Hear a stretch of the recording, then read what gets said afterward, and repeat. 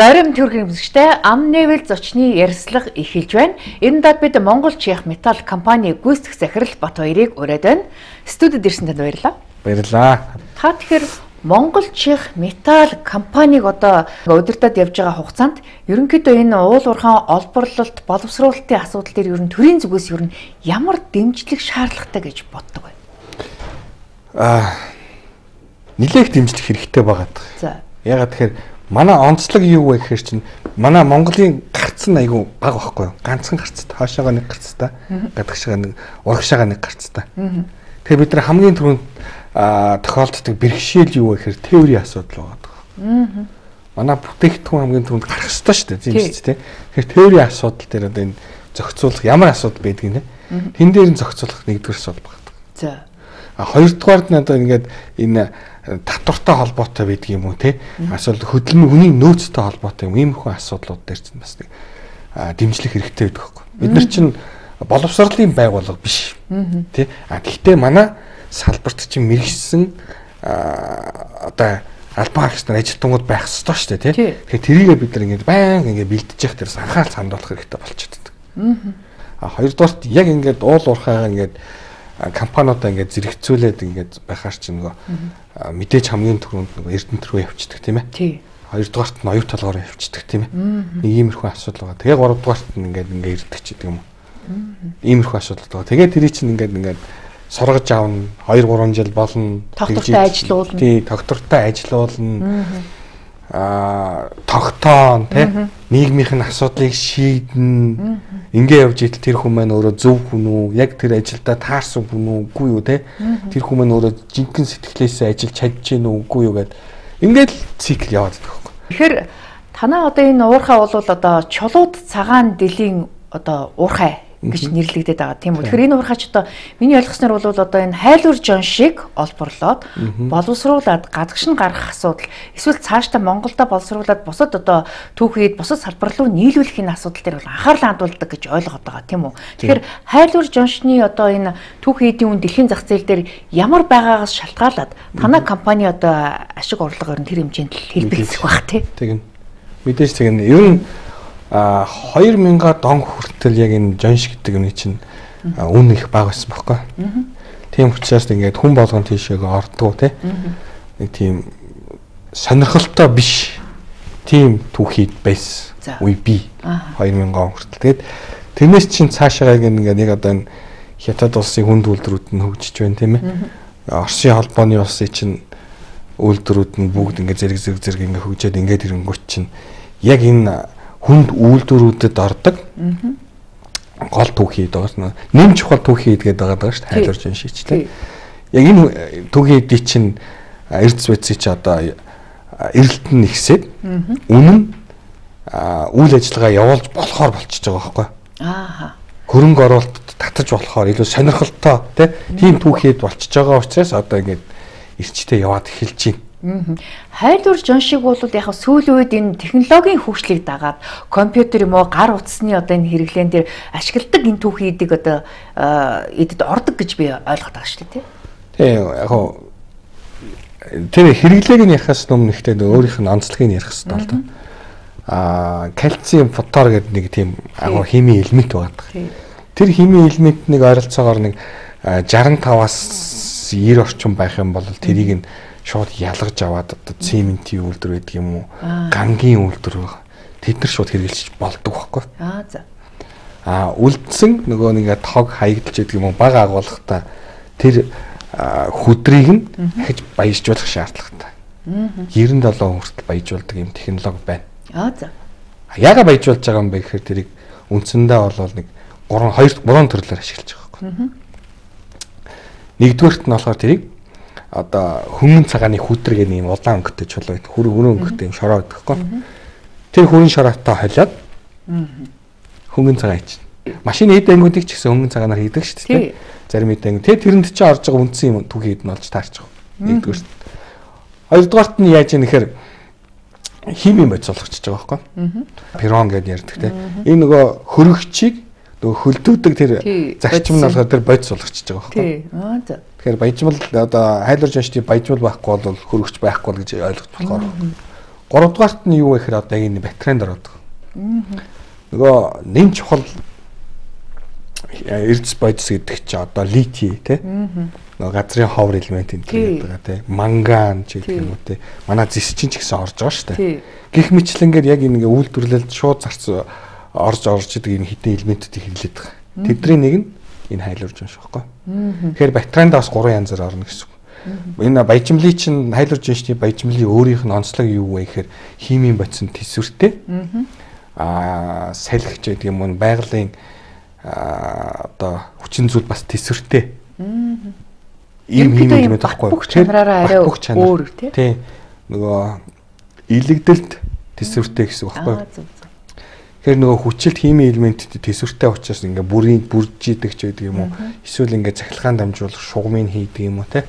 Иймэрхүү байдлаар ингээ ашигладаг байна. Та сая тэгэр олон талаар энэ одоо энэ хайлуурж аншиг ашиглах боломжтой гэж байна. Гэхдээ танаахан одоо яг аль одоо чиглэл рүү илүү одоо үйлдвэрлэлөө явуулж тэр ашигыг хүртэх боломжтой болж байна. Аа ер нь үйлдвэрлэл маань ийм 4 5 шаттай байна. Эхлээд олборлож байгаа. За. Хоёрдугаарт нэгний шатны боловсруулалт хийж байгаа. Тэр боловсруулалт хийгээд одоо яг шууд ингээд үйлдвэр яг шууд зарцуулахаар ийм түүхэд болгож байгаа. Түүнээс шууд ингээд одоо а газраас нухаж аваа тэрийг шууд үйлдвэрт ашиглаж гэсэн үг биш байхгүй юу? А бид нар яаж юм гэхээр энэ хоёр дахь шатыг нь одоо хийж эхэлж байгаа байхгүй. Тэр маань дээшээ ингэж хөгжөөлөө шүү дээ. Олборлагч орон байсан бол одоо боловсруулагч орон болж байна л гэсэн үг байхгүй.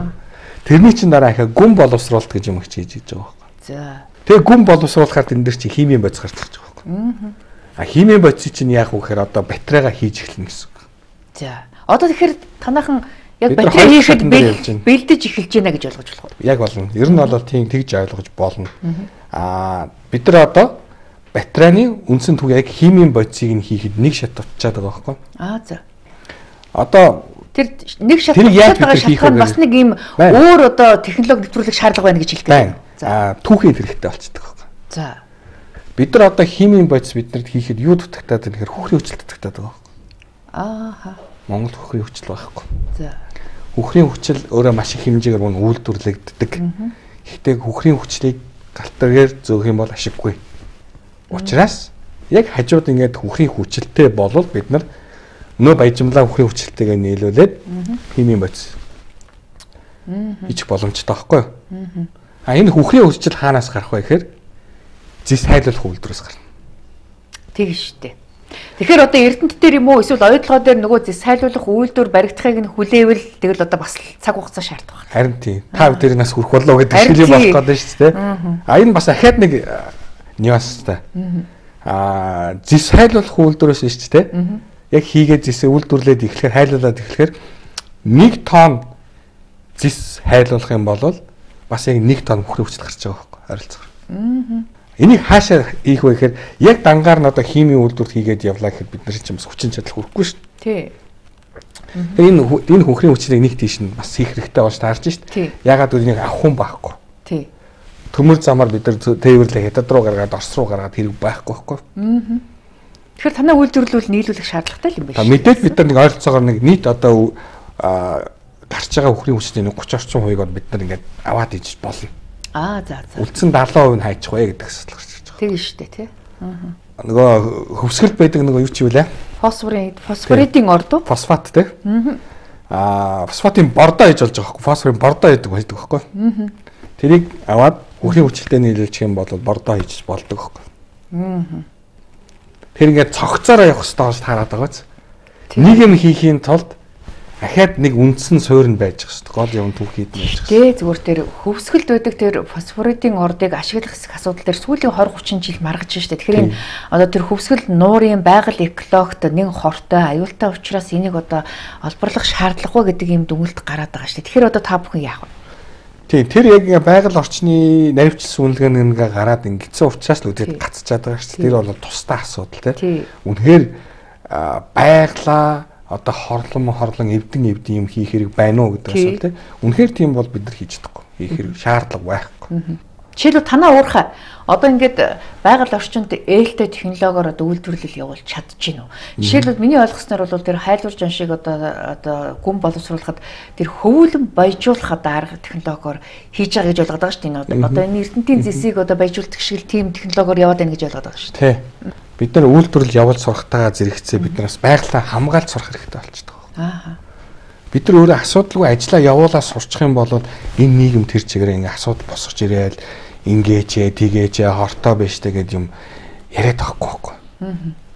Тэр үйлдвэрлэл эрхлэж байгаа бол стандартын дагуу байгаль орчинд нээлттэй технологиг ашиглаад тодорхой өртгийг нэмэгдүүлээд ингэж юм хийх хэрэгтэй болж таарч байгаа. Номер 1 асуудал нэг өсөндөө ажил хийж сурах асуудал яригадаад байна шүү дээ. А танаа үйлдвэр үү? А манай үйлдвэрийн хувьд гэх юм бол бид нар одоо бас нэг онцлогтой юм технологи ашиглаж байгаа. За.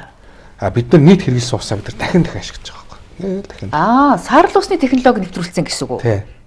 Тийм байхгүй. Тэгэхээр яаж юм гэхээр ингээд тунгаагаа л гэсэн үг. Усаа ингээд тунгаагаа дотор нь ингээд эхлээд дээр дотор нь байгаа элементийг шүүж авна.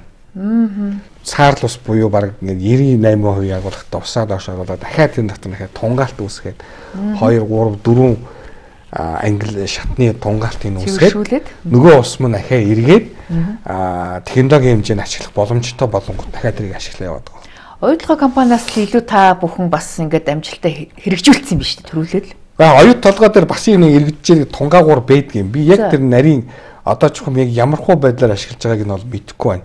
А ямар тач манай ашиглаж байгаа технологи бол аа сүүлийн үеийн технологи. А бидэрт одоо Эрдэнэт үйлдвэр шиг ингээд ийм том нуур хийх шаардлага байхгүй. Тэнд нь лаг шавраа тэнд нь ингээд хадгалаад байх шаардлага байхгүй. Гарч ирж байгааг нь лаг шаврын нийш нь ялгаад, усын нийш нь ялгаад, усаа зөвшөөрүүлээ буцааж ашиглаад ингээд л явж байгаа гэсэн. Одоо энэ уулуурхан компаниуч одоо ихэвчлэн гүний усыг ашиглаад тэгээд тэр усны төлбөрөө байгальд одоо хохирол учруулсан төлбөрөө одоо яг хугацаанд нь яг тэр тарифаар нь төлөхгүй гэл мархан усгээд идэг шүү. Бас нэг юм асуудал. Хүн болгон зайлс гэдэг асуудал байхгүй. Яг уулуурхан компаниуд одоо шүү дээ гүний усыг хэрэг ашиглаж байна гэдэг дээр нэг их судалгаа хэрэгтэй. Тий. Яг аль салбар нь гүний усыг хамгийн их ашиглаж байна вэ гэдэг дээр. Миний уншижсэнаар бол миний мэдж байгаагаар бол Яг нефт бол их байна тий. Яа нефт их аа услагаатай тариалан буюу хөдөө аж ахуй мал аж ахуй чинь гүний усыг арай илүү ашиглаад байна гэсэн мэдээлэл яваад байгаа хэрэг. Бүрүү. Би бол гадаргын ус гэж ойлгоод үгүй юм тий. Үгүй чинь гүний ус газрын ус адилхан шүү дээ. Худгасаа л авж байгаа ус шүү дээ. Хөршний ус бол тэгэл дороод усж шүү дээ. Тий. Тийм учраас гүний худгаас ус авч услагаагаа хийж гин. Тэгээ малаад хижээж гин. Тэ. А уул уурхаа дээр одоо хоёул бодоод үзье л та тий. Яг юу юу ашиглаж гин гэдээ бодоод үзье. За за нефтийн үйлдвэр одоохондоо манад байхгүй тийм үү. Гэтэ газрын тус боловсруулахад бас зөвхөн олборлоход л маш их э, ус ашигладаг сураг сонсогдоод. Яг ингээ нөгөө ус шахчихж нефтээ дээшээ гаргадаг юм технологи байгаад байгаа тийм. За манай дээр одоо бид нар одоохондоо нефтээ болоод их хэмжээгээр үйлдвэр олборлохгүй байгаа шүү дээ. Дорнотод юу болж байгааг мэдэхгүй байна. А нүүрсийг бол зөвхөн ухаа гаргачих чинь тийм үү. За алтан дээр бол бас асуудал байгаа тий. Алтыг бол дандаа дандаа усаа дагаж алт маань өөрөө бууж ирдэг учраас нөгөө голын ихээ ингээ самардаад байгаа асуудал гараад байгаа. Тэр айгүй шүүмжил дагуулдаг. Тэр бол яалтчгүй бодиттой зүйл. Зис олборлолт дээр. Аа зис олборлолт дээр бол яаж байхгүй Эрдэнэт үйлдвэр дээр бол ус ашиглаж байгаа. Оюутлогоо. Оюут толгой дээр бас тодорхой хэмжээгээр ашиглаж байгаа. Тий. Ерөөс энэ үйлдвэр буюу нөгөө боловсруулалтын дээр л ашиглаж байгаа гэсэн үг байхгүй. Яг уурхаад дээр нь ашиглаж гин үгүй гэдэг дээр нь бас нэг юм ойлголттой болох юм байна. Тэгэхээр энэ одоо ингээд байгаль одоо бохирдуулсны усны төлбөр нь хангалттай өндөр хэмжээнд байхгүй байна. Хэтэрхий бага байна гэдэг асуудал яригадад сүүлийн жилүүдэд нэмсэн сураг байсан. Танай компани одоо энэ нэмсэн хэмжээгээр тарифа төлбөрөө төлж байгаа юу? Тэгин штэ. За. Хамгийн сайн хийж байгаа ажлч одоо энэ хяналтууд баггүй да ер нь бол тий. За.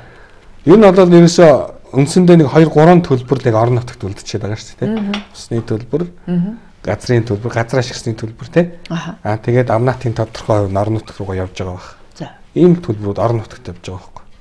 Тэгэхээр энийг орон нутаг манд хамгийн сайнаар л одоо авах гэж үздэг. Танах амнаатаа ер нь хэд үгээр төлж байгаа вүлээ? Энд чинь 2.3 дээр нэмэх нь юу гэдэг нэг ийм айгүй тийм төвөгтэй юм аргачлал гаргадаг металл одоо түүхийд болгон тэр өөр өөр идэг шүү дээ. Өөр өөр ардаг. Би энэ дээр бас тийм ярьчмаар санагдаад байна. Ягаад гэдэг вэ гэхээр одоо энэ нэг тодорхой ашигт малтмлын үнийг нь тогтоогоод тэрэн дээр нэмэх тэтгэв гэж гардаг байхгүй юу? Тий. Аа тэгсэн чинь манай айлуур жаншны үнийг яаж тогтоодог вэ гэхээр аа нөгөө ашигт малтмлын юун дээр бирж дээр зарагддаг айлуур жанш чинь зарагддаггүй учраас нэг одоо нэг судалгааны материал ч гэдэг нэг вебсайтн дээр тэнд ийм үнэтэй байна гэсэн үнэ онгод шууд тэрийг автоматар аваад шууд тэгээ бодоо авчиад байгаа байхгүй юу? Аа бид нар болохоор яг нэг 70-аад гарцгүй үйлдвэрлэлийн өртөгч хамаагүй өндөр учраас тийм үнээр нь амнагта төлөөд явахаар хамаагүй алдагдaltaа болчиход байдаг хөх. Тэр ингээд байнга одоо ингээд яригдаад байгаа асуудал. Тэгэхээр та татвар хит өндөр хэлэх гээд байна уу? Аа ер нь бол харьцангуй өндөр. За. Аа яагаад тэгэхээр энэ онцлог нь байгаа даахгүй. Бид нар яагаад ингэ томорч чадахгүй нэг чинь энэтэй холбоотой байхгүй. За. Өнөөдөр өнөөдөр Монгол болсон шүү дээ тий. Аа хайлуур жоншныхоо нөөцөөр дөрөвт орж дэлхийд. Өө тийм өндөр хэмжээнд үү? Тийм өндөр. Аа гэхдээ бид нар дэлхийн хэмжээнд дөрөв дэх том олборлагч шиг ингэж ажиллаж чадахгүй байгаа байхгүй. Энэ Монгол улсад хайлуур жонш олборлож байгаа энэ хүмүүс маань нөгөө дөрөв дэх том үйлдвэрлэгч нар шиг ийм хэмжээнд ингээд бодлого тодорхойлоод үн тодорхойлоо тий бүтээгдэхүүнүүдээ явж чадахгүй байна. Тэгэхээр дэмжлэг байхгүй учраас томорч чадахгүй байна л гэж хэлэх гээд Монгол улсын онцлог л байхгүй. Бид ерөөсөө ганцхан гарцтай. За. Бид нар богоноо гарах, зарцуулж. олох гэж амар зовлон болдог. За. Ийм том сав байгаа мөртлөө ерөөсөө зүүнний одоо зүүнний хэмжээний юм нүхтэй. Аа энэ нүхээр нь ингээд зөөж байгаа энэ тэр зөө юу вэ штэ тий одоо зөөж байгаа машин штэ. Энэ машин айгу ховор. Танах тэгэд өөртөө машингүй учраас одоо ингээд богоон царайчлахаас аргагүй байдалд ороод. Хэрвээ бид нар далаад бомбттай ч гэдэг юм уу те.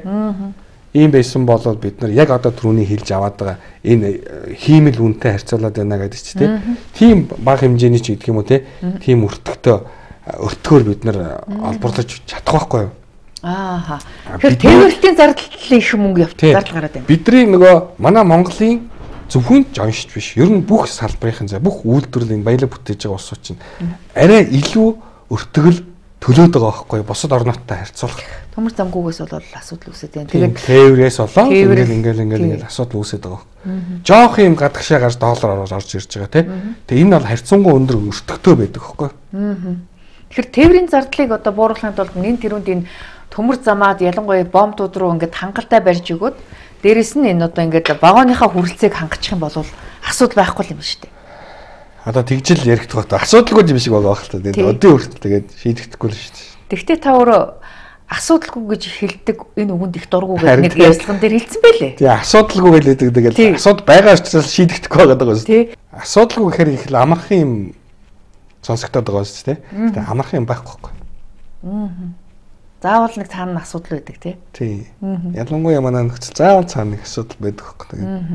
Тэгээд энэ танаа энэ чулууд цагаан дэлхийн уурхаач уул нь 2000-ад оноос өмнө одоо нөөцөн дуусаад хаагдцсан орд гэж ойлгоод байгаа. Тэгэд нөөцөн дуусаад хаагдцсан ордоос юм гарна гэж яаж бодож Аа. танаа одоо компани ийшээгээ зүгэлсэн юм бэ? Энэ ийм учиртай. Ер нь бол 80-ад оны үед яг эд ажиллаж исэн. Яг одоо энэ нөгөө борондрын бас уурхаа гэж байна шүү дээ. Тий. Яг тэрнтэй адилхан ингээд нийт ажиллаж исэн байхгүй. Тухайн үед нь нөгөө нэг социализмын үе байлаа те. Арай өөр улсууд өөр өртгөр аваад айгүй хурдтай аваад хамгийн ихэнхийг аваад дуусгачдаг те. Тэгээ бид нар айгүй их яриад шүү дээ. Тим үе байсан бохгүй. За. Тэгэл одоо хамгийн боломжтой одоо өрмийн аавна гэж ярих уу та тий. Тэгээд ингээд аваад ингээд Усман 90 дээр он боллоо. Усман үлдчихлээ тий. Ингээд үлдчихлээ. Нөхцөл байдал нь бүр хүндрэлээ. За. Түүхийдийнх нь үнэн бүр бага тий. Эдийн засгийн хувьд ач холбогдолгүй болоод ингээд ингээд үлдээд нөгөө нэг а гадны талын та ихэнх хувийг эзэмшижсэн 51% эзэмшижсэн улсууд надад бид нарт энд ажиллах сонирхол алгаа тий. Энийг авах гэж байгаа улсууд нь одоо манай урд хөршч байдаг юм уу тий. Ингээд ингээд бид нар өөрсдөө аваад дахиад ингээд хайгуул хийж эхэлж байгаа. Аа за нэмэлт тайгуул хийсэн юм байна шүү дээ. Аа за. Бас нэг асуудал байна шүү дээ. Дахиад ингээд ингээд л хайлаа халиа яваад байна. Нэг юм ингээд тэд байна гэж тогтцсон бол тэр нь тэрийгээр байдаг гэсэн биш ялангуяа. Хайгуулыг баян хийж дээ. За. Магадгүй а 1950-ад онд ч гэдэг юм уу те? 70-ад оны үед тухайн үеийнхаа нөхцөл байдал техник хэрэгслээсээ болоод хүчин чадлаасаа болоод эдийн засгийн хувьд ач холбогдолгүй гээд тогтцсон байсан юм. Нөгөө тодорхой хугацааны дараа эдийн засгийн хувьд ач холбогдолтой болч болно шүү дээ Тий. тий. Тэгэхээр тэр үед ийм байсан одоо ийм байсан нөхцөл байдал өөрчлөгдсөн. тий. Технологи өөрчлөгдсөн. технологи өөрчлөлт яг үнэ. Тийм болох боломжтой байхгүй. Тэгээд 2000-ад оны үед нөгөө түүхийдийнх нь үнэн өсөөд те дахиад нөөц нь ингээд тодроод нөөц нэгсээд ингээд ирэхээр нөгөө олон жилийн хугацаанд социализмын үед ашиглагдсан нөгөө хөдрүүд нь шүү дээ бага Тий, хөдрүүд тий. тий. Тэгээд тэрэн дээр үндэслээд одоо ингээд үйлдвэр хийгээл ингээд үзэл явж шүү дээ. Аа. Тэгэхээр танаа орд ич одоо үндсэн орд гэж хэлэх үү, үүсэмэл орд гэж хэлэх үү, тодорхой хэмжээнд нөөцөн дууссан орд гэж хэлэх үү одоо тийм холимог шинжтэй болох гээд байна да. Тий. Тодорхой хэмжээний яг түүхийдийн аваа явж байгаа тодорхой юм бас байна Тий. Аа үүсмэл орд нь бас байна. Тий. Тэгээ үйлдвэр тэн дээр нь ажиллаж гин тий. Тэгжил ирлээ. Аль аль нь байна. Аль алийг агуулгаар одоо ингээд одоо амнат дээр хүртэл бас ингээд янз бүр Оо яг авч үзэх шаардлага гарах бах та. Тий, манай ч одоо нэг маргаан та нэг асуудал байгаа даа шүү дээ. Үйлдвэрээс амнаатах уу гэдэг асуудал гараад байгаа шүү дээ. Боловсруулах үйлдвэрээс. Тий. Аа. Аа ашигт малтмал. Ашигсны татвар болчиход шүү дээ. Албан татвар болчиход байгаа шүү дээ. Хэрвээ бид нар аа боловсруулах үйлдвэрүүдээ ашиглая гэж байгаа бол илүү хөгжүүлье гэж байгаа бол үйлдвэрээс боловсруулах үйлдвэрээс л бол татвар авах шаардлага байхгүй. Тэгжээж бид нар боловсролтыг хийж таарч байгаа шүү дээ, тийм ээ? Аа. Татвараар тодорхой хэмжээнд дэмжих хэрэгтэй. Дэмжих хэрэгтэй байхгүй. За. Гэхдээ би Тэгээд тэн дээр бол татвар ажиллана. авахгүй гэдэг дээр бол би бол дэмжихгүй байна. Яг нь тодорхой хэмжээнд үйлдвэр хөл дээрээ бостол одоо татварын хөнгөлөлт ч гэдэг юм уу тодорхой хугацаа зааж өгөх Яг үнэ. боломж тий. байна. Юм наанта цаанта байх хэрэгтэй шүү дээ, тий. Би одоо жишээ нь тэр юун дээр бас ингээд татвар авих бодож исэн байхгүй. Бид нар нөгөө тоног төхөөрөмжөд орж ирэхэд шууд гайлдармаа. Нөт тэтгэл. Бид нар төлөх шүү дээ. Мэдээж төлж таа, тий. Гэхдээ энэ дээр одоо чинь манайх ийм төсөл хэрэгжүүлээд хэрэгжүүлж ийна гэдэг ингээд нөтийн татварыг тий ингээд тодорхой хуваар ингээд хоошлуулж байсан бол ямар сайхан бэ л гэж бодож ирсэн. Тэгээд том төслийг хэрэгжүүлэхэд мэдээж одоо томоохон санхүүжилт хэрэгтэй шүү дээ. Тэгэхээр энэ одоо санхүүжилтийг яаж босгосон мэдээж л одоо банкнаас зээл авсан эсвэл гаднаас одоо хөрөнгө татсан ийм л арга зам. Одоо зээлтэй юу? Зээлт шүү дээ. Зээлт тий. Аа дөнгөж өдөөд тий 2023 онд ашиглалт орж байгаагийн бас нэг шалтгаан энэ багхгүй. Аа зээлээ төлж явсаар гал. Аа хөрөнгөө босгох гол яваад. Хөрөнгөө босгох. Аа зөв. Нөгөө 888 гаал нэг ингээл нэг юм явж Төсөлгээд байсан шүү дээ. Тэгэхэд уг нь бид нар тэнд орж исэн багхгүй. Аа. Аа шалгарч исэн. Тодорхой төвшин тэгээд харамсалтай авч чадаагүй хүүтэй зээл. Аа хөгжлийн банкнаас. Тий чадаагүй тэгээд зөв шийдвэр гаргадаг бол хамгийн түрүүнд олгохдох байсан багтгаа. Тэгэхээр тэрийг яах вэ? Тэрийг Улс төрийн орж дэмжлэг хэрэгтэй байсан. Тийм ээ тий. Аа би өөрөө ажиллаж чадаагүй л гэсэн үг баг л та. Аа. Магадгүй. Одоо тэгээ арилжааны зээл. Аа би гоё юм ярьж игээ заяа. За. Тэгээд яасан бэ гэхээр за бид нар ерөөсөө хуваа зарахгүй гэдэг бодлого барьж. За. Хуваа зарахгүй зарахгүйгээр яаж мөнгө олох вэ гэхээр гаднаас зээл авах хэрэгтэй болж тий. Аа Монголоос бол заавал үл хөдлөгч байд юм уу ямар нэгэн барьцаалж бизнесийн зээл авна та тий. 20 эдэ хувийн хүүтэй авна тий. Тэгээ. Тэгэхээр чин айгүй төвхтэй болчихж байгаа Тэгээ байхгүй. босч ярихгүй. Босч ирч чадахгүй байхгүй. Аа гадны Сингапурын ч байдаг юм уу, Хонконгийн ч байдаг юм уу тий. Баах ингээ хөрөнгө оруулалтын сангууд байгаа шүү дээ. Тий. Монголоос бус газар мангар их мөнгө байгаа шүү дээ. Аа. Тэр мөнгө хааш нөх вэ гэж хүлээгээ сууж байгаа байхгүй? Ашигтай байж чадахгүй юу гэдгээл тий. Тийм. Аа тэгээд тэд нар чи яах вэ гэхээр манай стандарт даг- дагуу бичиг баримтаа боловсруулаад ир гэдэг байхгүй юу? Тэгнь. Тэгээд бид нар тэрийг хийж эхэлж байгаа. Аа. Хонконгийн салбарт, Сингапурын салбарт зориулаад ингээл бичиг баримтаа хийгээл нөгөө тезүүгийн чинь шинээр бичээл ингээд эхэлж байгаа байхгүй. Энэ цаг хугацаа шаардж байгаа байхгүй. Аа. Бид нар суралцж чинь гэсэн үг байхгүй юу? Яг нөгөө олон улсын хэмжээнд бид нар ингээд 8 хийж суралцах гээд нь шүү дээ. Тийм бай. Мөнгө босгох суралцах гээд нь шүү дээ. Тэгээд нөгөө ингээд нэг 8-аас 10% хүүтэй. За. 10% а, хүүтэй долларын зээл гэдэг бол айхтар шүү тий. Тэгээд тийм юм авахаар ингээд болоод ингээд явж байгаа байхгүй. За. Аптек гэрээ гэдэг маань танаас бид нар энэ үйлдвэр бариад бүтээгдэхүүнээ үйлдвэрлэчихэд өгнөө. Одоо бид нарт мөнгөний өгчхөө төрүүлээд өгчхөө Аа. гэдэг гэрээ шүү дээ тий. Өрчлөөд мөнгө авна л гэсэн. үг. Урьдчилаад мөнгө авч авна гэсэн тийм л хэлсэн шүү дээ. Тий. Тийм хэлцэл хийж бид нар мөнгө өсгөж байгаа байхгүй. Аа. Яагаад гэвэл бид нар аа хуваа гадныханд өгмөр үс юм нэглэгт. Одоо Монголоос өндөр үнэтэй зээл авмааргүй ус. Өндөр хүүтэй. Тий, өндөр хүүтэй зээл авмаар ус. Үн хүү гэдэг чинь ер нь бол хөрөнгө оруулалтын үн гэсэн үг шүү дээ. Тийм шүү дээ. Тий. Тийм учраас бид нар ингээ аптек гэрээ гэж. Аптек гэрээний сайн тал гэж бас байна. За. Магадгүй өнөөдөр байгаа үн маргааш аа буучч магадгүй байхгүй юу? За тий. Тийм ээ. Тэгэхээр бид нар өнөөдөр хилцэл хийж байгаа байхгүй юу? Өнөөдөр бид нар одоо юу гэдгийг 100 доллараар зарна гэсэн гэрээ хэлцэл хийгээд бид нар мөнгөө босгож аваад үйлдвэрээ хийчлээ. 5 жилийн дараа 80 доллар ч юм уу багслаа гэж бодъё. Хий очих уу? Мөнгө босгож чадсан бид нар л босч байгаа байхгүй. Аа. Тэг энэ юмнуудыг ингээ хийгээд ингээд энэ ч одоо бараг 6 7 жил болж байгаа шүү дээ. Тэгээ би юунд суралцж чинь гэхээр цаг хугацаа өнгөрөх тусам тэр хийх ёстой ажлын өртөх нь бол нэмэгдээл итгэв. Тэг штэ. Тэ. 12 онд бол би жишээлбэл одоо яадгийн 2 тэрбум төгрөгөөр хийчих байсан ажлыг хийхгүй тэгээд ингээд хөдөлж чадаал байх юм бол Одоо бараг 5 6 тэрбумаар л болсон шүү. яг үнэ тэ. Тий. Тэгэхээр яаж хийж байгаа л ажиллах хэрэгтэй юм. Одоо оптик гэрээгээр одоо ингээд э, хөрөнгөө босгоод үйлдвэрээ барьчлаа. Тэгэхээр одоо өөрөө төлөхийн тулд та бүхэн мэдээж одоо ингээд нөгөө а, бүтээгдэхүүнээрээ түүхий дээр л төлөх болох бах та. Тийм шүү дээ. Нэг сайн тал нь бас энэ баггүй. Тий. Би нөгөө нэг ховор мөнгөний чинь би заавал буцааж өгөх шаардлага байхгүй байхгүй. Би өөрийнхөө бүтээгдэхүүнээр л төлнө гэсэн. Тийм.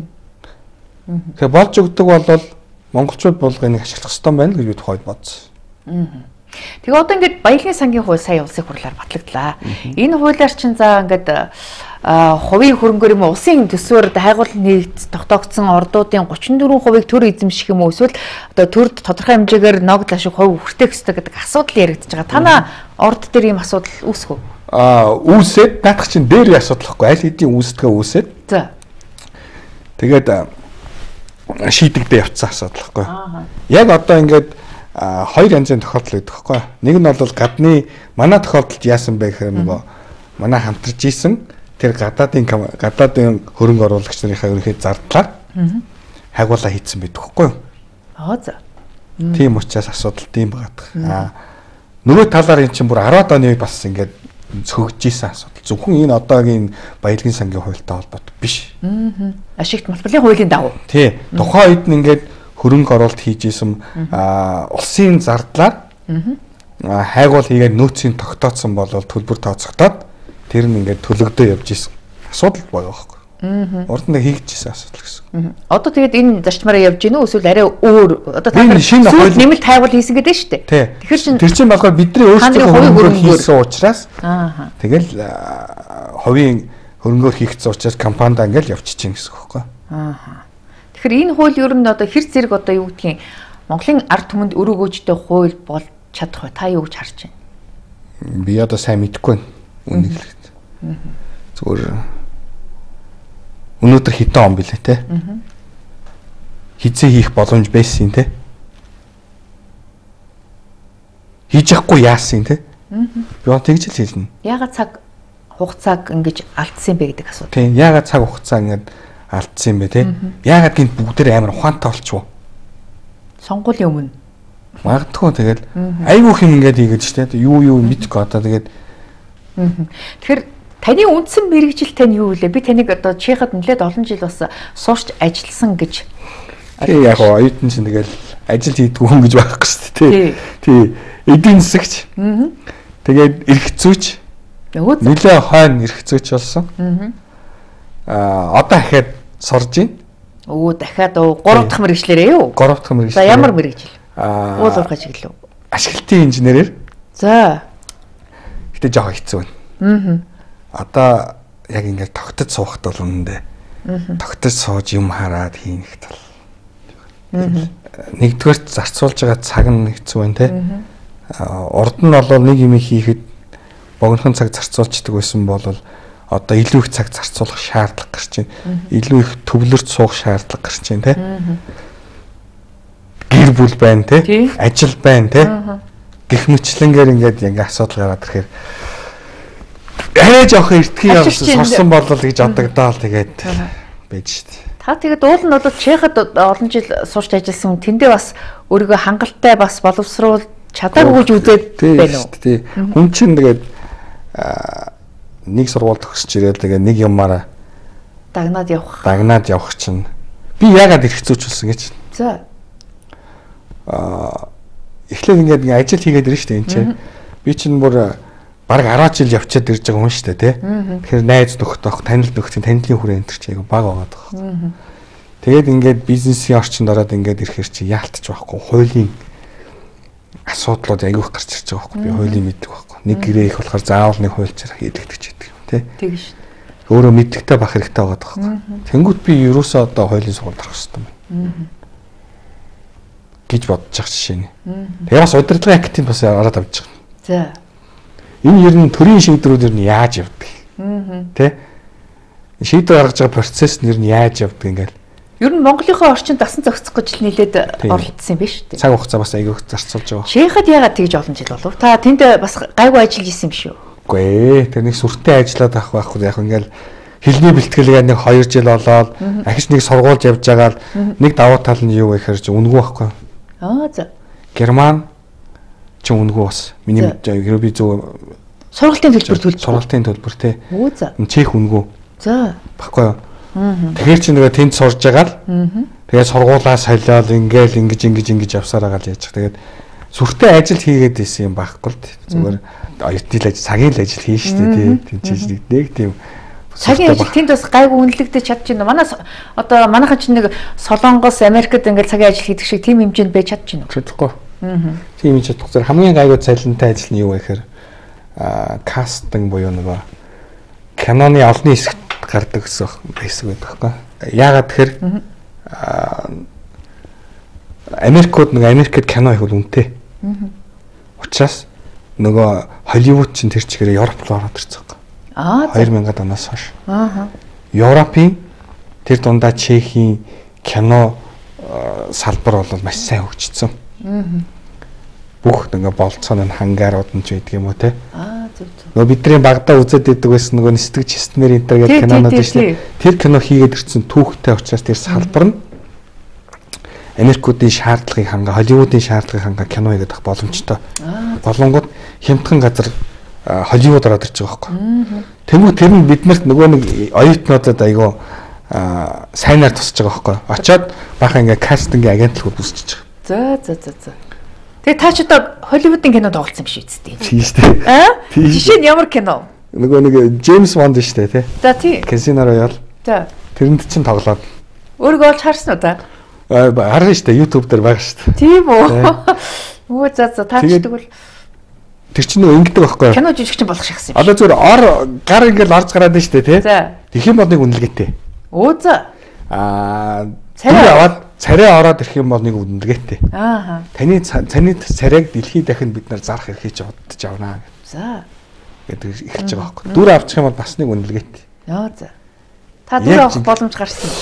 Тэг яг нэг Джеймс Бонд дээр чи нэг юм буурал Японы хантайж гэдэг нэг дүр бийдэг. Тэрний найз гэдэг альбиосны дүртэй. Аа. Тэгээд ингээд зэрэгдээс хамаарад сууж байгаа газар ууж байгаа гэж хоолнд мөрт шал өөрөлдсөн. Таны царай тод харагдсан уу тэнд? Гарна. Тийм үү. Таач тэгвэл дүрээ мүхэлсэн биш үү залуунаас. Холливуудын кинод. Тэр чин тэгээд бас эргээд танд бас тодорхой орлого. Тэгээд чин киноны ашигаас киноны ашиг чинь миний киноны ашиг миний тэр киноны дүрийг надаас худалдаад авчих байгаа байхгүй.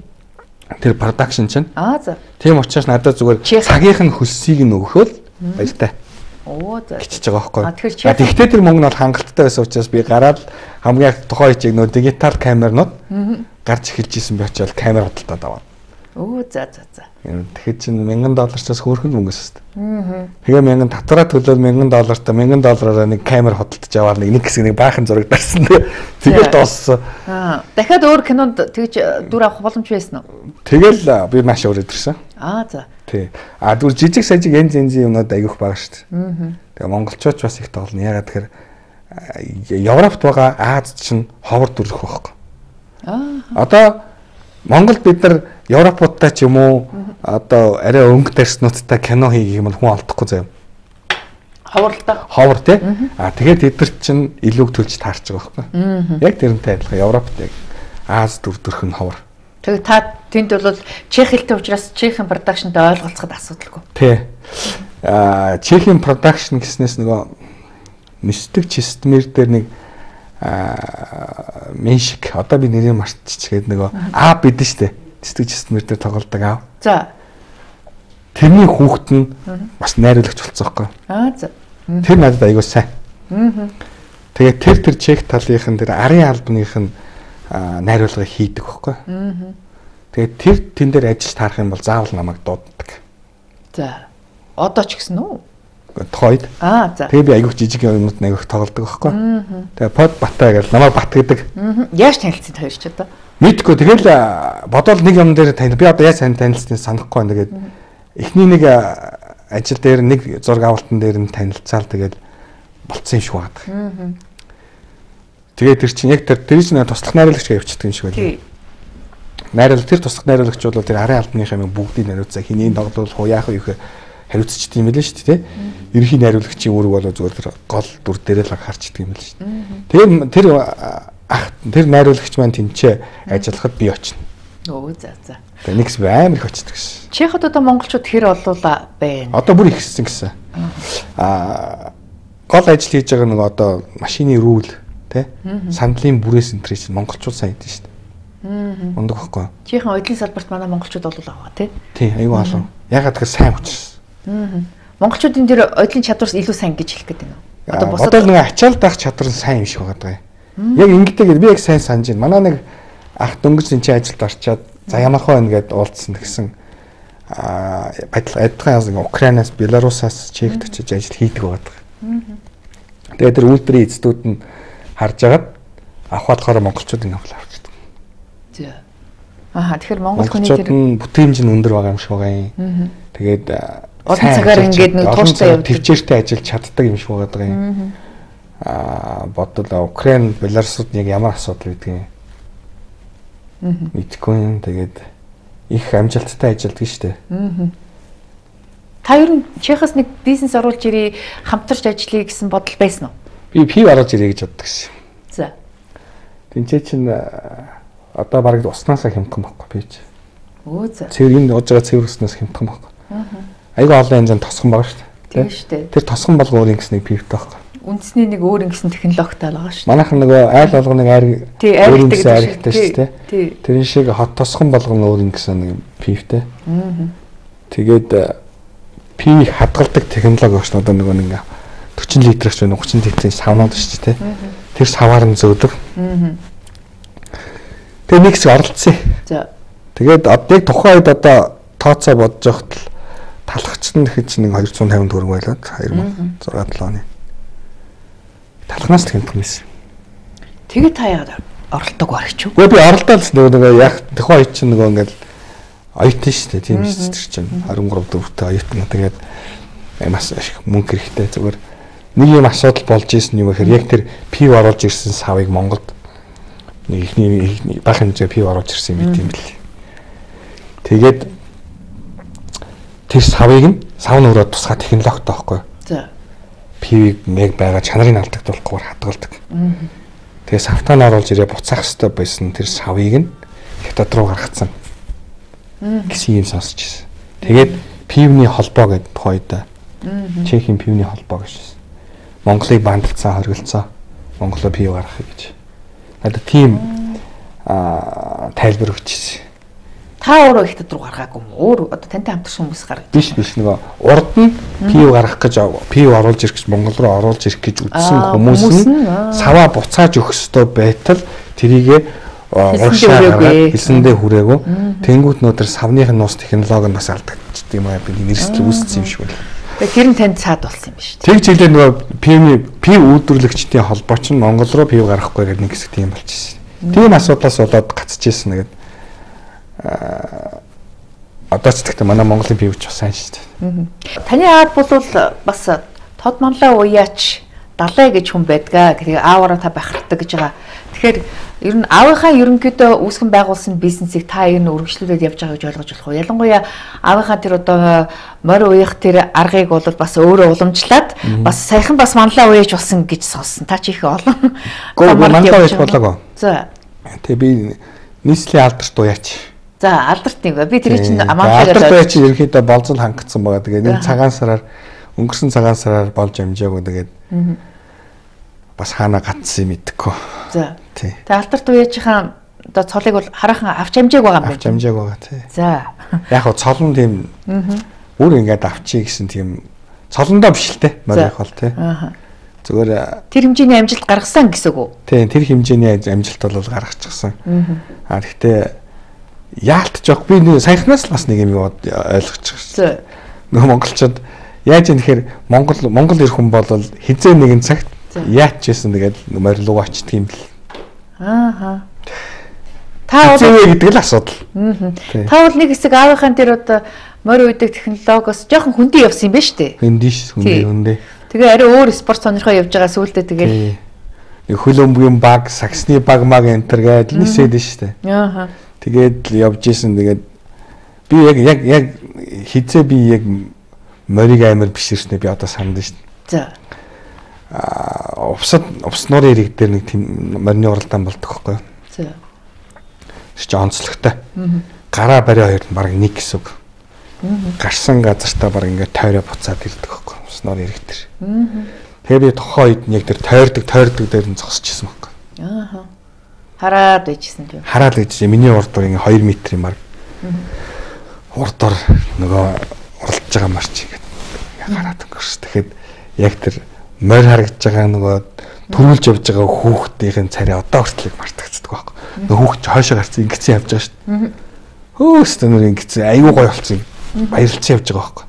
Тэгээ нөгөө морины чинь нөгөө ингээ самсаа те тэр ингээ нөгөө гүрийж байгаа тэр судснууд те нөгөө хөлснөөс нь ингээл бүгд ингээ харагдах ингээ гинт одоо нэг юм тариа тариулсан юм шиг ингээл шар ус Огшоол явцсан юм байна тийм. огшаад явцсан гэсэн. Тэгдэг юм бэл. Тэрийг одоо хүн болгоно мэдрээсэй гэж боддог шүү дээ. Ховор тохиолдол. Таны уйсан морд ер нь одоо улсад хэд төрүүлээд байна? Аа улсад сая амаа үзэгдсэн 2 жилийн өмнө. Өө за. Тий. Би яг одоо энэ Монгол улсын хэмжээнд нэлээд амжилттай явж байгаа хоёр уяат залуутай айгүй хоёр татна гэдэг. Манай одоо буян тогтох гээд залуу байна. Манай Майка гэж залуу байна. Алтай очир гэдэг залуу. Энэ хоёр залуутайгаа бас ахиад өчнө олон залуучууд байгаа л зү. Их хоёр.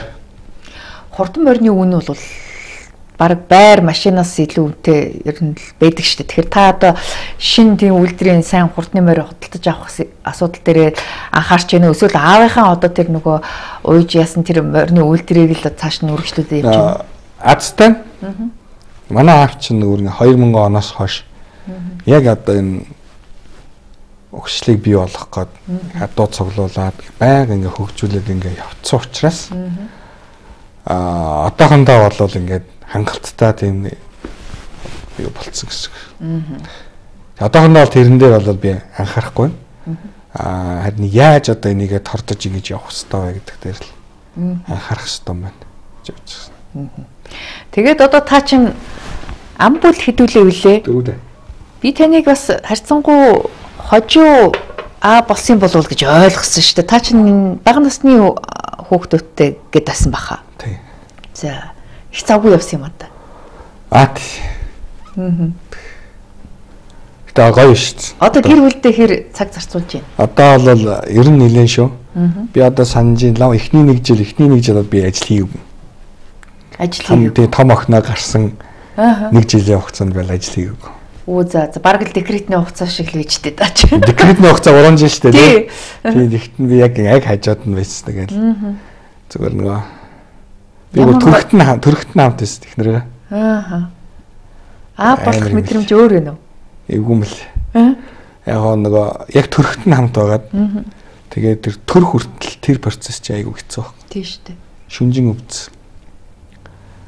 Аа тэгээд тэгэхэд тэгээд айгу их цочирдох уу те. Аа. Тэгээд цочирдоод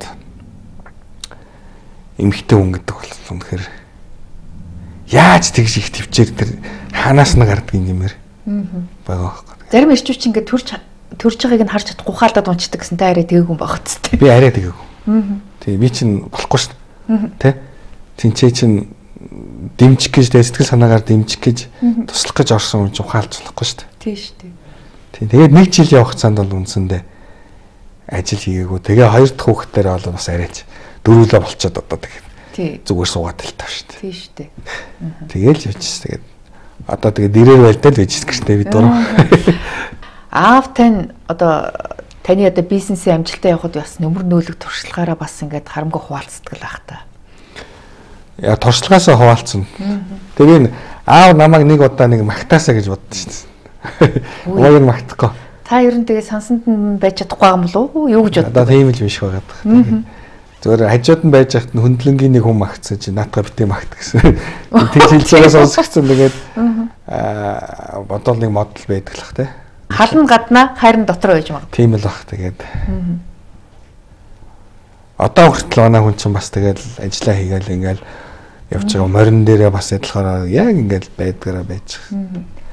Та айл ид хүүхдээ? Том шүү дээ. Том. Дороо? Дараа нэг дүүтэй. Нэг дүүтэй. Уг нь хоёулахтай юм чинь бас харьцангуй ирэх баймаар юм те уг нь. Би яг өвөө эмигийн хөлтөлтэй. Аа. Тий. Төрөөл одоо 2 сартаа байсан гэдэг намайг анх явж хахт. Аа. Тэгээ бодвол ээж хоёр өөрсдөө ажилтаа очираас л явуулсан багт тий. Аа хөдөө юу? Хөдөө тий. Аа аав ээжтэй эндээ хотод байсан. Аав ээж хоёр маань энэ ажиллаа хийгээд би тэгэл 2 сартаа өдөө явсан. Аа. Гэдгийг тэгээд өвөөгийнхөө дээлийн өвөртөл өссөн юм үү? Оо за аль аймаг вүлээ? Увс. Увс. Ааха. Тэгэд хідэн настай ээж авдар ирсэн юм. Тэгэл ингээл ирж очиад айгүйх ирж очиад ингээл ээж авдаг тэгээд бараг 12 3 хүртэл өвгийнхөө үрт утсан баг. Өө тэгвэл бол өвөг л үхт юм байна л да тий. Тэг яг хуу тэгтэл аавтай нь бол бас өөрийн чинь бол бас дотроо бол үнэлж л яваа бах. Тэрийг бол нэг илэрхийлэхгүй. Харин одоо тэгээд Яг тэ заавал тэгээд илэрхийлэх гээд ах шаардлага байна шүү дээ. Зөвөр ингээд тэр нэг асуудал ш. Одоо ингээд уул уурхаан салбарт хажуугаар нь ингээд бас ингээд морь уйж гин. Тэгээ одоо та чинь хэрэглэгчдийн эрх ашигыг хамгаалах нийгэмлэгийн нийгэмлэгүүдийн нэгдсэн холбооны тэргүүн гэж явж байна. Тий. За. Тэр яагаад юм ямар учиртай вэ гэхээр яг нөгөө үйлдвэр барьж явах үетэй холбоотой байхгүй юу? Би өөрөө ингээ барилгын ажил хийгээ ингээ явж байгаа чинь би барилгын салбартаа би өөрөө хэрэглэгч байхгүй юу? Би өөрөө худалдаа авахч байхгүй юу? Үйлдвэрлэгч гэсэн бас хэрэглэгч. Адилхан хэрэглэгч байхгүй юу? Тэгээд нөгөө бизнес үйлдвэрлэгээд явсантайгаа зэрэгцээд хэрэглэгч гэдэг юм бас ороод ирсэн байхгүй? Тэгээ бидний санаж байгаа бол нөө хэрэглэгч бол хаа ингээл ярьдаг үе байсан шүү дээ. Тий. Одоо тэгж ярихдаггүй байгаа. Одоо тэр холбооч ер нь үйл ажиллагаа явуулж байгаа юм л гэж бодсон. Ягаад тэгэхээр 2008 онд шудраг өрсөлдөөн хэрэглэгчийн төлөөх газар гэдэг юм байгуулагдсан байхгүй юу? Тий. Аа, хуулиараа болохоор ингээд яг одоо хэрэглэгчтэй холбоотой ч гэдэг юм уу те. Үйл ажиллагаанд давхцаад үйл ажиллагаанд давхцчихж байгаа байхгүй? Тэгэхээр яалтч байхгүй нөө төрийн байгууллага чинь ингээд давмгаалаад ингээд явчихж байгаа байхгүй? Аа, тэгээ бодит байдал дээр нөгөө хэрэглэгчтэй холбоотой асуудалд хурж ажиллаж чадахгүй. Тэгэхээр нөгөө бодит байдлыг харуулдаг байхгүй? Юм болгоныг төр хийх алба байхгүй хийж чадахгүй угаасаа тий. Тийм учраас нөгөө мэрэгжлийн холбоодоор нь тий төрийн бус байгууллагуудаар нь зөх ажлуудыг хийлгээ явуулах хэрэгтэй байхгүй. Аа. Тэг чадаагүйг нэг илэрлэн л одоо байгаа байдал. Аа. Би одоо ингээд фейсбુક дээр ингээд хэрэглэгчийн эрх бишгийг хамгаалах байгууллага гэдэг ирэнгүүт хаана байсан юм бэ танаа байгуулгач? Харин тийм. Юу хийж ирсэн юм? Одоо би яг л гэж асуух гад байл л да. Хэрэглэгчдийн эрх ашигыг хамгаалах нийгэмлэгүүдийн нэгдсэн холбоо тийм олон нийгэмлэг байдаг юм уу ч гэдэг ямар ч ажил. Гэхээр энэ чинь амар том сэдв баггүй юу? За. Жишээлбэл үнсний салбарт нь гэдэг юм уу?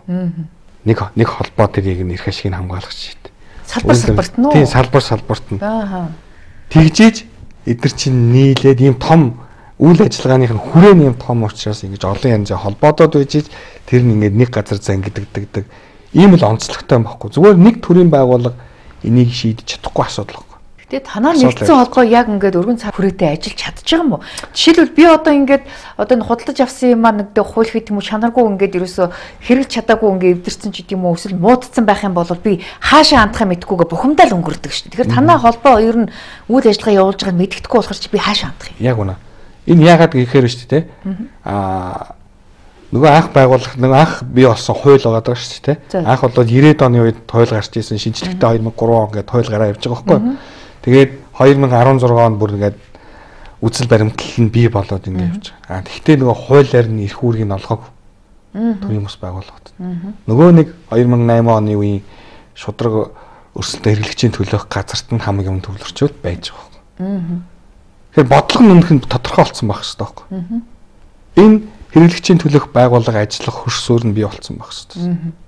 А энэ дээр одоо би дөнгөж ингээд томилогдоод энэ асуудлыг нь гаргаж ирээд ингээ явах бол хоёрдугаар үндсэн ажил бас таарч. Дөнгөж томилогдоод та одоо хэр хугацаанд Сая 12 сар би томилогдсон. Аа за одоо тэгэхээр 3 4 сар л өнгөрч байгаа юм байна тийм үү? Тий, тэгээд их ажил байгаа даа байхгүй. Маш их ажил байгаа. Тэгээ одоо ажлаа яг юунаас эхлэе гэж бодож байна. Одоо ингээд зогсон байдалд орсон байгууллагыг сэргэх хариуцлага байна шүү дээ. Тий. Хамгийн түрүүнд ингээд яг ямар хэрэгцээ байна уу гэдгийг нь гаргаж ирэх хэрэгтэй юм л. Өөрөөр хэлэх юм бол энэ холбоо маань юу хийж чадах боломж байна, ямар шаардлага байна гэдгийг нь гаргаж ирж бичиг баримтыг бүрдүүлэх юм л. Аа нөгөө талд нь хэрвээ ингээд бие дагаа бас юм хийчмэр юм шиг л. Хэрвээ ингээд нөхцөл байдлыг нь хүмүүст харуулах хэрэгтэй болчиход байгаа байхгүй юу? Ядчил хэрэгцээний гомдлыг хүлээж аваад тэрийг нэгтгэж байгаа цааш нь дамжуулмаар байна шүү. Ядаж ингээд ийм юм үнэхээр ингээд хийж болохоор юм байна гэдгийг нь төр засагт нь иргэдэд нь харуулчмаар байгаа байхгүй юу? Тэгжиж олон түвний а дэмжлэг авах болчихж байгаа. Тэгжиж энэ ажил явахар болчиход. А хэрвээ ямар нэгэн асуудал гарах юм бол нөхөн олгорч гэдэг юм тий хохирлогоо болох хэрэгтэй. Тийм шүү дээ. Дөрөвдүгээрт нь яг энэ бүтээгдэхүүнийхэн талаар бүдэн одоо гарын авлах ч юм уу авах хэрэгтэй. Тодорхой мэдээлэл хүргэх хэрэгтэй. Аа тавдугаарт нь энэ бүтээгдэхүүн маань өөрөө эрүүл аюулгүй байх хэрэгтэй. Тэ? Зурдугаарт нь бол энэ миний эргэн тойрон байгаа энэ орчин маань энд байгаа энэ үйл юмнуудаас болоод надад аюул учруулахгүй байх хэрэгтэй гэсэн ийм үндсэн зарчим байгаа байхгүй. Хэрэглэгчийн зарчим гэсэн үг байхгүй. Энэ бол зөвхөн Монголд ч биш. Энэ бол үндэс нэгдсэн үндэсний байгууллага буюу дэлхийд дахин хэрэгжилж байгаа зарчим байхгүй. Асуудал бид нар энэ энэ үүднээс л хандах хэрэгтэй байхгүй. Тэгэхээр хохирсон эрх ашигыг яаж хамгаалах вэ? Тухайн компани дээр очиод тэр хүний одоо юу гэдгийг хохирсон төлбөрийг гаргуулах асуудал дээр тэгэл та бүхэн гацх байх. Энэ нэг өмнө хуультай ч холбоотой асуудал байхгүй. Одоо одоо жишээлбэл Европын холбоонд л жишээ нь шүү дээ. Европын холбоонд хэрэг би онлайнаар юм хөдөлж авлаа шүү дээ. Тэр мэн шаардлага хангахгүй бол буцаах хэрэгтэй байхгүй. Би гараараа үзэг хараагүй. Тэгээ хэдэн хүмүүсийн сан сэтгэл дээр үнэлж байгаа би авчиж байгаа байхгүй. Тийм үстэй. А тэрийгээ би буцаага өөрийгөө хохирлого болгох эрхтэй. Мөнгө буцааж ажилдаг. Мөнгө буцааж авдаг. А манад яадаг? Бандан тас шүү дээ. Бандан тас. Оронд нэг юм ав сольж өгөө сольж өгнө. Сольж өгөхгүй бол адил ижил төстэй юм ав. Тэгдэг үстэй. Тэг шүү дээ. Тий. Угаасаа тэгдэг. Тий, тий. Тийм тэр байдлыг чинь байхгүй болох хэрэгцээ байгаад байгаа байхгүй. Энд хуулинд тэгээд асуудал заалт байхгүй учраас бэрхшээл байна гэж тайлх гэдэг нь. Тий. Энийг ингээд а энэ бүх асуудлууд иргэдийн гомдлыг чинь төрийн нэг байгууллага шатжиж чадахгүй болохгүй. Аа энийг яаж яах гэхээр одоо нэг ингээд юм журам болгоод ингээд явуулах хэрэгтэй. Одоо энэ энэ элдв бензин жижиг маргаанууд байна шүү дээ. Тий. Нөгөө одоо иргэний иргэд дээр чинь нөгөө хэрэг дээр чинь хөдөлмөрийн хөлсний доод хязгаараас хэмжээнээс одоо хэмжээнээс хэтрээгүй болоод хэрэг үүсдэг энэ төр гэж асуудал байна шүү дээ. Тэгвэл Европын холбоонд бүр юм жижиг асуудлыг шийддэг шүүх байна гэдэг. Өө за. Аа манад одоо хэлдэг шүү дээ. Тий. Адгийн зарга 10 хоног 10 хоногтой гэж үгдэх те. Хайчдаг те. Хядрага хядрага хядрага хайчдаг те. А тэгвэл энэ асуудлуудыг хүртэл шийддэг процесс босод усуудад байгаад байгаа юм. Тэгэхээр танаа хэрэглэгчтэй нэгдсэн холбоочтой тэгээд тэр хохирсон хүний өмнөөс тэр шүүхээр ингээд олон жил сараар явах боломж байгаа юу? Тэгэхээр яг хоо энэ яг хэрэг яг энэ холбооныхаа дэргэд арбитр байгуулах боломж байгаа. За. Тэр арбитр маань болохоор яг ингээд яг юм жижиг жижиг маргаануудыг ингээд шийдэд өгчдөг. Аа. Тэгээ энэ энэ энийг бол та шууд шүүхийн шийдвэр гүйцэтгэх байгууллага руу явдаг ч юм. Одоо нэг спортын шүүх гэх нэгэн байгууллага бий болчиход байна шүү дээ. За тий. Эсвэл худалдаа аж үйлдвэрийн танхимын дэргэд бас арбитрийн шүүх байгаа шүү дээ. Тэр бол одоо ингээд бизнес хийж байгаа байгууллагуудын хоорондын маргааны гэрээлцлийн маргаануудыг шийддэг бас нэг юм бүтэц байгаа дээ шүү дээ. Яг энтэйгээ адилхан энэ баг хэмжээний хэрэглэгчтэй холбоотой энэ маргаануудыг шийдэж явдаг бас ийм бүтэц байгуулах боломжтой байхгүй. Одоо хуулийн тийм зохицуулалт байхгүй учраас асуудалтай. Яг шүүх байгуул болно шүү дээ. Арбитр байгуул болох байхгүй. Аа. Тэгээ та ер нь цаашдаа ер нь төлгөөндөө энэ арбитр байгуулъя гэсэн бодолтой байна гэсэн үг. Яг энэ холбооны хэмжээгээр ингээд бүгд төлөвлөгөөгөө гаргаад зөвхөн одоо зохицуулагч нэг хийх үү те. Аль болох ингээд олон хүмүүсийг хамруулад хамгийн гол нь хүмүүст л ингээд танин мэдүүлэх чухал байхгүй. Одоо өнөөдөр та жишээ нь арбитр байж болдгийм байна гэдгийг тийм биш мэдээд олчлоо шүү те. Одоо зохицуулагчийн хувьд бол би шууд хийж чадна гэж амлахгүй ч гэсэн би хүмүүст мэдүүлэх миний үүрэг байхгүй. Тий.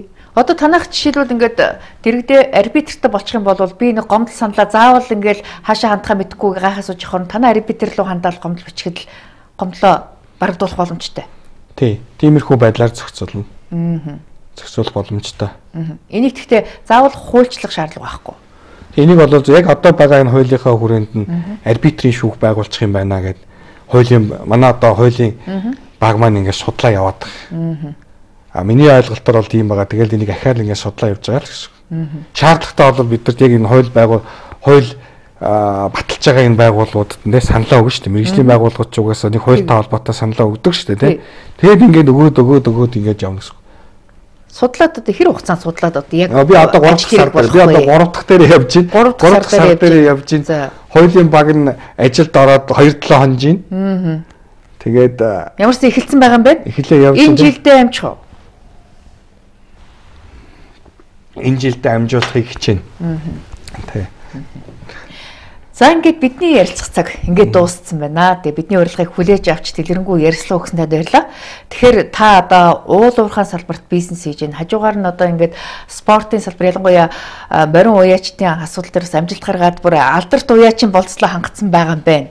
Одоо бас цаашдаа ингээд хэрэглэгчдийн эрх ашиг хамгаалах асуудал дээр бас цаашдаа ингээд нэлээд бодож төлөвлөсөн асуудлууд байгаа юм байна. Энэ бүхэн дээрээ тодорхой амжилт гаргаараа ингээд танд амжилт хүсье.